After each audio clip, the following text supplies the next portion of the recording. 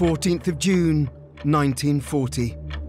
A lone RAF reconnaissance plane flies over the English Channel and into occupied France.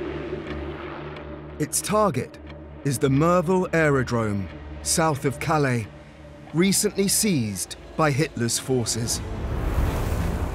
The onboard camera reveals a horrifying new threat. More than 40 German bombers, all now within striking distance of England. In the spring of 1940, Hitler's forces steamroll through Western Europe.